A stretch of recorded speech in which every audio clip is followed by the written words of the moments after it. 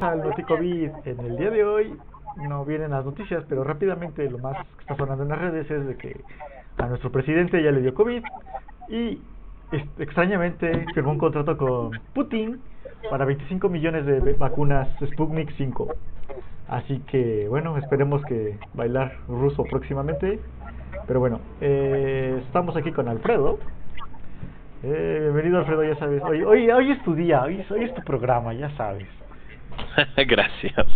Regrabando de nuevo, este, no me gustó cómo estuvo el ritmo, pero bueno, vámonos a, eh, a rapidísimo. Esto normalmente tendríamos que hacerlo mensualmente, como estamos en máximos, pues otra vez grabando en enero, inicios de año, chulada de vida.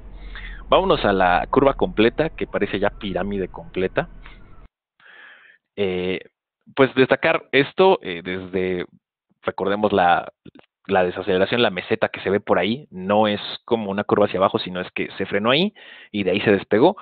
Y pues estamos viendo cómo se va inclinando cada vez más hacia, hacia la recta, vamos a decirlo de los 60, después 70 grados, ahorita ya está como en 80, 70, 80, y pues eso nos está diciendo que estamos en la parte más fuerte de contagios en la República Mexicana, en lo que lleva de la pandemia de COVID-19, la COVID-19 algunos. Este, vámonos a la parte semanal, donde estamos aumentando 121 en 307, como un 13%. Eh, de, semana, de diferencia de la semana pasada a esta, estamos llegando a otro máximo semanal. Rebasamos ya la barrera de los 120 mil. Eh, esperemos no rebasar de nuevo esta la barrera de los 125 o, o superar los 121 mil 791 que se acaba de, terminar con esta semana. Vámonos a la parte de, las, de los 14 días, que me preocupa más porque la diferencia es de casi, casi 40 mil. Se incrementó de 14 a 14 a unos 19%. Y el dato preocupante para mí es el que pasé por, por el Messenger. En estos, desde el día 23 de noviembre, por ahí está, déjame checo rapidísimo. Sí, desde el 23 de noviembre, eh, digo, este periodo ha sido de 320 días el que estamos analizando aproximadamente. En, en la quinta parte, que son 63 días aproximadamente, se han hecho el 41% casi de los casos reportados. O sea, estamos en, en una parte preocupante, ¿no? Donde debería de ser, ¿qué tal?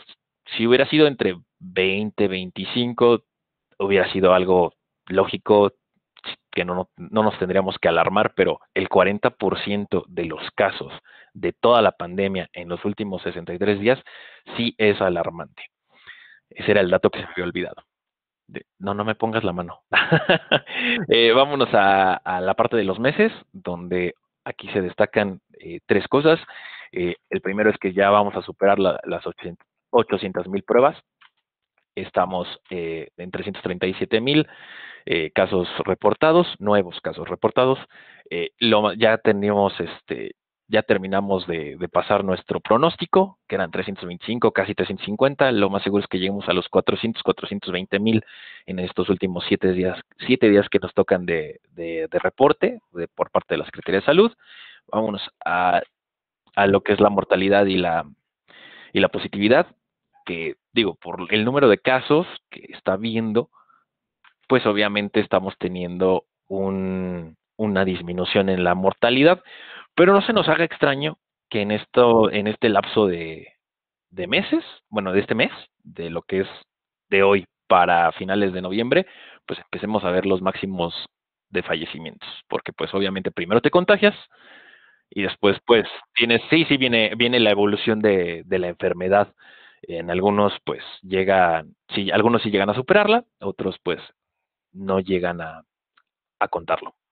Vámonos a, a la parte de confirmados y pruebas. Estamos viendo, pues obviamente, que aumenta eh, un 27% las pruebas, pero también está aumentando casi en la misma proporción, un 25% los, los casos positivos. Eh, es muy seguro que en esta semana que está eh, que acaba de comenzar, pues estemos eh, entre los 90 y los 115 mil de eh, nuevos casos reportados. Entonces, pasemos a la siguiente a la siguiente gráfica.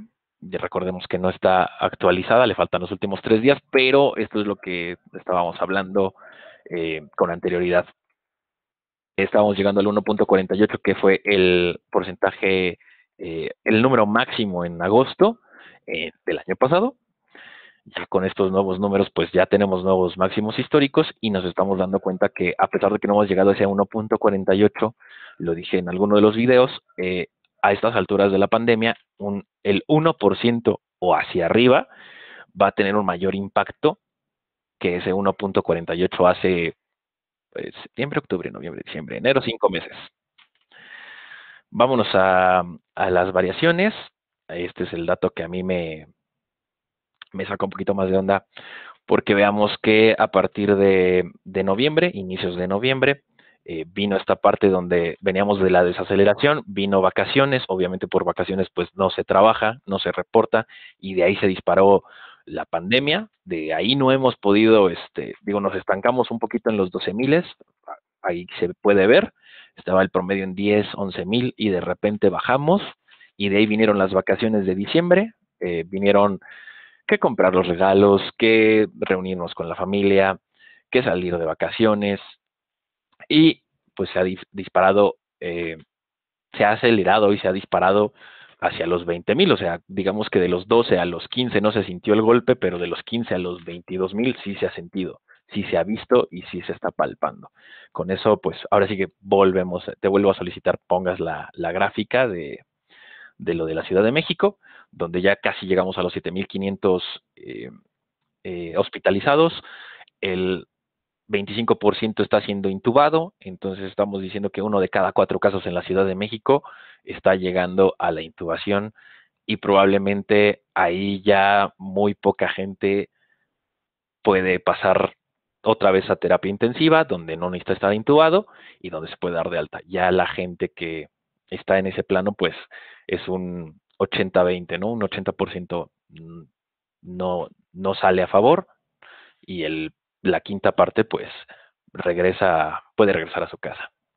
Vámonos a la siguiente gráfica, a los promedios móviles. Aquí la diferencia es que es, eh, abrí la gráfica, muy rara vez abro la gráfica, pero estamos viendo desde el inicio de la pandemia hasta estas fechas cómo se ha evolucionado y pues obviamente se refleja lo mismo, como en agosto a noviembre se desaceleró, ya veníamos hacia abajo, vinieron los descuidos, vino, vino, perdón la palabra, la gente le valió un comino y se viene disparando. Y todos los promedios móviles están activos. De hecho, el que me preocupa más es el de 180 y el de 30 días, que es el amarillo.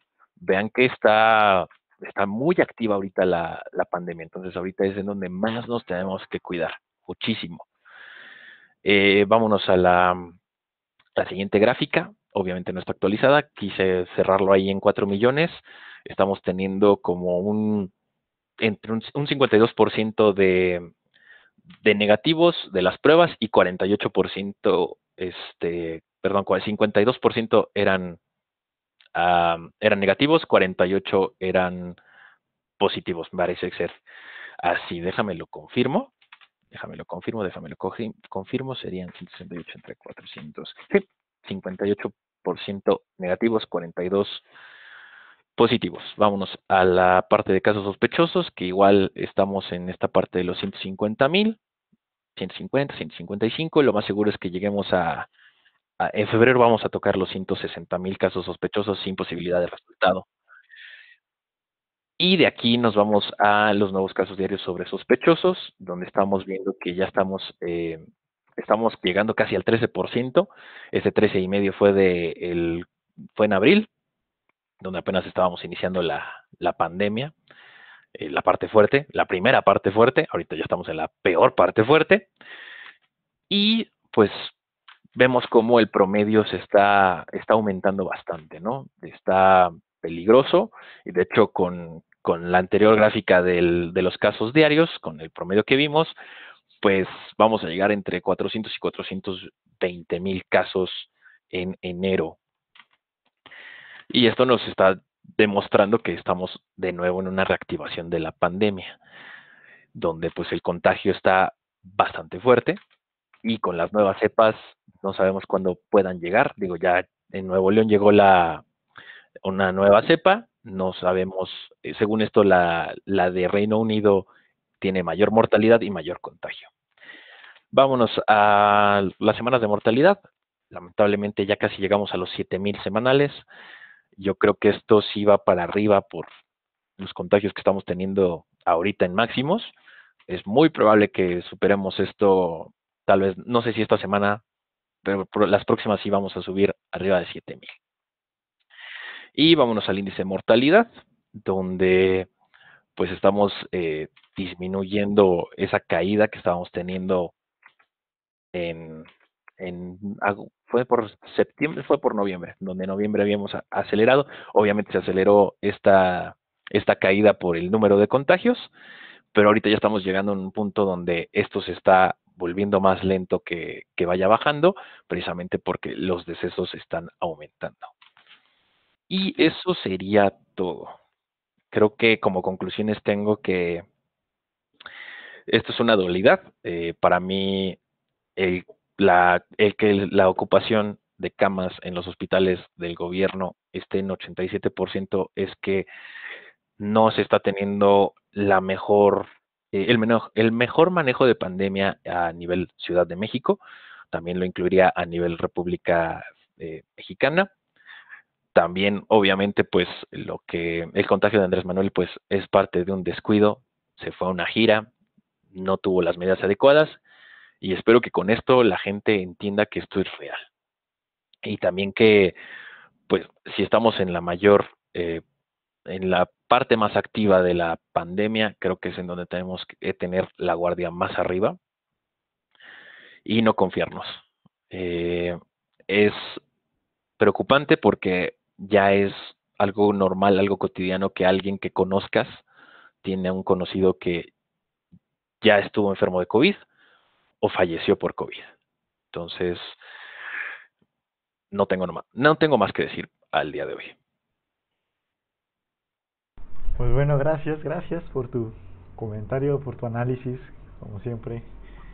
Pues ya, solo chicos ya saben, no salgan, no salgan, no salgan. Y poner lo último, ¿no? Eh, nuestras decisiones y nuestras acciones se están reflejando en números. Esto es lo que nos está reflejando la, la estadística. Nos estamos descuidando, nos está valiendo, no lo estamos tomando en serio. Y si no lo tomamos en serio al día de hoy, estos números van a estar más fuertes el próximo mes. Esperemos que este sea el pico. Esperemos. Pues bueno, suscríbanse. Bye. Denle like, comenten.